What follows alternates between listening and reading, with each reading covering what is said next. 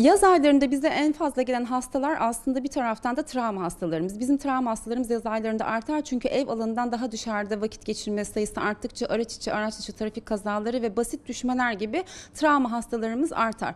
Kan sulandırıcı ilaç kullanan hastalarımız basit düşme mekanizmalarıyla, minor travmalarla bile e, ciddi etkilenebiliyorlar. E, hasarlandıkları bölgeyle alakalı olarak iç kanama riski de olabiliyor. O yüzden bu hastalarımızın kendini travmadan koruması da tabii ki önem arz eder. Türkiye'de İstanbul genelinde zaten e, Kırım Kongo ile alakalı bir bulaş şimdiye kadar tespit edilmedi görmüyoruz. Ama kene ile alakalı önemli olacak verecek mesajımız şu olabilir. Böyle parklara, bahçelere, açık alanlara giderken e, işte çorabını, e, uzun kıyafetini giyerek korumaya çalışmak olabilir ama ne kadar korusanız da e, kene e, ısırıyla karşılaşabiliyorsunuz. Önemli olan vücudun herhangi bir yerinde bir kene varsa bunu bir sağlık çalışanı çıkarsın. Çünkü parçalanabiliyor. İşte kafası içeride kalabiliyor. Bir de e, vücudun bir yerinde bir kene varsa başka bir yerinde de olma ihtimali daha yüksektir. Kıvrım bölgelerinde, koltuk altlarında, kasıklarda atlanır mesela. Biz hastalar hep bunu söyleriz. Tamamen soyalım, başka bir yerinde olmadığından emin olalım. Bunu da kontrol etmek gerekli. Böcek sokmalarıyla alakalı olarak bir de e, normalde basit kış, kaşıntı, e, hafif kızarıklık, lokal ödemler yapabilir. Bölgeyi e, suyla ve sabunla yıkayıp temiz tutup daha sonrasında çok fazla kaşıntısı varsa e, kaşıntı önleyici jeller, kremler kullanılabilir. Sivrisineklerle aslında alakalı olarak az önce söylediğim her şey geçerli. Yani bütün böcek ısırıklarında e, toksik, zehirli bir şey ısırmadığı sürece e, lokal kaşıntılar e, yapar. Oranın temiz tutulması, suyla sabunla temizlenmesi. Önemli olan şey şu fazla kaşınıp cilt bütünlüğü bozulduğu zaman, kanattığınız zaman oradan enfeksiyon girişi olabiliyor.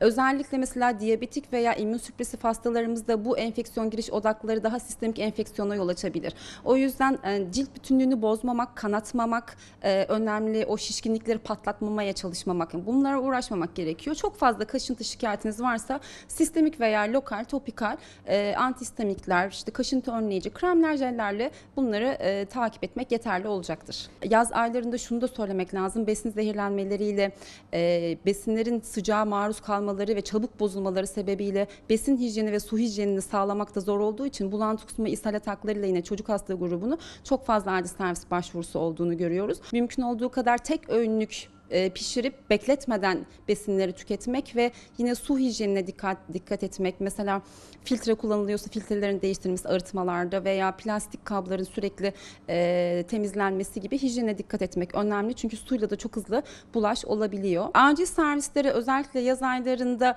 farklı şehirlerde yaşamak üzere giden hastalarımızın kullandığı düzenli ilaçların yanında götürmemesi sebebiyle birkaç gün boyunca kullanması gereken ilacı kullanmaması sebebiyle farklı semptomlarda gelen hastalarımız oluyor. En sık işte tansiyon ilacını unutmuş bir haftadır tansiyon ilacını içmediği için yüksek tansiyona bağlı semptomlarla gelebiliyorlar. Yine idrar söktürücü ilaçlarını içmedikleri için kalp yetmezliği, aktiyoridemi, nefes darlığı gibi semptomlarla gelebiliyorlar. Ee, şeker hastaları düzenli ilaç kullanmazsa yine yüksek şekerle alakalı komatöz bir tabloyla da gelebilirler.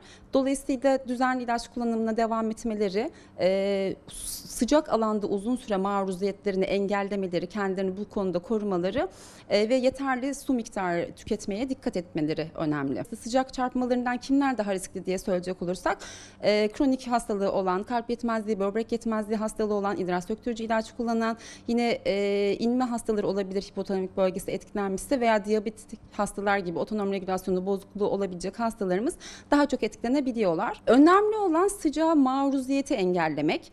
E, vücut sıcaklığının 40 derecenin üzerine çıktığı dönemlerde ciddi semptomatik bulgular ortaya çıkar çünkü. Sıcak sıcak çarpmasına maruz kalan bir hastaya nasıl müdahale edelim?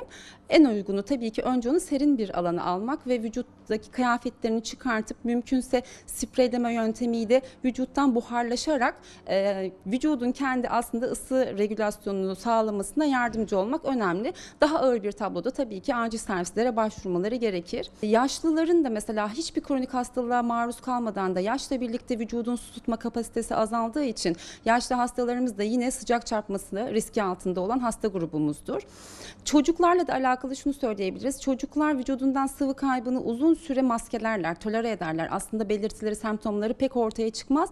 Son anda ortaya çıkabilir. Dolayısıyla bir vücut bir çocuğun da bulantı kusması, ishali, sıvı kaybı varsa o çocuğun sıcağa uzun süreye maruziyeti de bu dehidratasyon tablosunu e, etkileyecektir. O yüzden e, çocukların da uzun süre sıcakta maruz kalmamaları, koruyucu şapkalar gibi, gölge alanlar gibi korunmaları. Okulların kapanmasıyla birlikte evde daha fazla ve park bahçelerde daha fazla vakit geçiren çocuk yaş grubumuzda yine travmaları görebiliyoruz. Ön kol kırıkları, düşmeye bağlı, salıncaktan düşüp gelmeler. Özellikle 3 yaş grubuna bu konuda çok dikkat edilmeli.